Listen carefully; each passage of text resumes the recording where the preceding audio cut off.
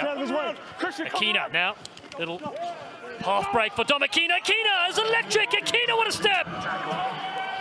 He's as destructive as a cyclone. Dom Akina snaps it down with authority. Fantastic individual play from Akina at the end. The nice little sidestep. And then he seemed to be looking around like, who's going to come tackle me here? Do I have to beat anyone else? Um, just coast his way into the into the try. Um, really good play from the Raptors. And Seattle fence starting to look tired, starting to look dispirited.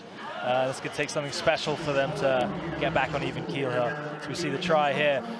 Really good job. He just managed to stay on his feet, fight through the tackle, and I think that's what you see with a lot of these players. They've got less experience, but they know how to carry a ball. They know how to break tackle. The best rugby players that represent the United States of America have often been crossover athletes. I think there's many of these athletes across America, and hopefully it's going to turn a little bit more contagious once we give them a taste of rugby.